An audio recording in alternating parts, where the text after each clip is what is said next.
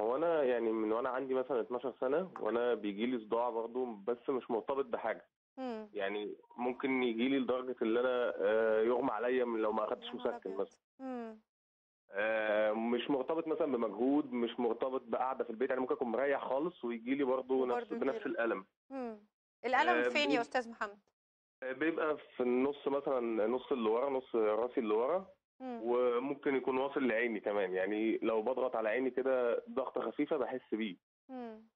آه، يا دكتور؟ طبعا مخليني ماشي على طول معايا مسكن في الشنطة أو في جيبي ما أقدرش أتحرك من غيره. إمم.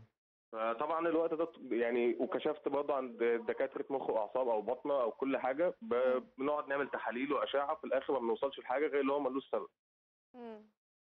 طيب عايز. تسأله أي سؤال يا دكتور؟ آه هسأل حضرتك سؤال هو الصداع بيتكرر مع حضرتك كل قد إيه يعني هل بيتكرر مثلا نفترض بيجي مثلا كم مرة في الأسبوع أو كم مرة في الشهر آه، ممكن ما يجيش شهر كامل وممكن مم. مثلا يجي يجي لي في أسبوع يجي كل يوم إمم. تمام وهل معاه زي ما قلنا في سيلان في الأنف أو عينيك بتدمع أو في احتقان في العين آه، لا خالص بيبقى هو آه وبيجي بس هو بيجي على ناحية واحدة من الرأس آه، بيجي في النص اللي ورا آه النص آه، اللي ورا النص اللي دايما ورا. وهل بتحس فيه زي نبضات كده زي نبضات قلبك جدا ما ده هو.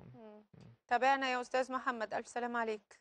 إيه يا دكتور بقى ده؟ ده برضه شكله نوع من أنواع الصداع النصفي نصفي. آه، إحنا يعني إحنا نقول حضرتك قُلت ده تالت آآ تصنيفه تالت أكثر انتشارًا، أكتر تالت أكثر مرض. مرض في العالم آه آه، يعني آآ أكثر مرض انتشارًا. مم.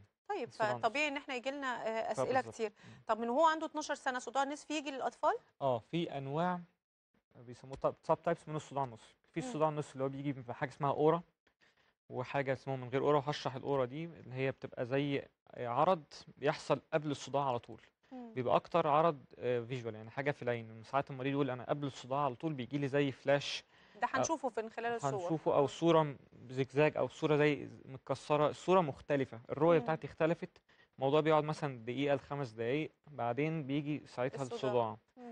آه، ده نوع في نوع من غير ال aura دي الصداع. على طول بيجي الدب على طول في الدماغ بعدين في نوع تاني بيجي مثلا مع الدورة الشهرية اسمه الصداع النصفي related للدورة الشهرية إمم. الصداع النصفي بيجي في الأطفال الصداع النصفي بيجي النت... بيبقى بيسموه hemiplegic أو ساعات الصداع النصفي ساعات بيجي بشلل يعني ساعات المريض بيجي له صداع نصفي ويجي مثلا ضعف مثلا على ناحية من الجسم الإيد أبيض! والرجل فترة وبعدين يتحسن تاني إمم. ودي طبعا بنشك إن هي جلطة في المخ ولازم نعمل طبعًا. أشعات ويطلع في إمم. الآخر إن هو مريض صداع نصفي.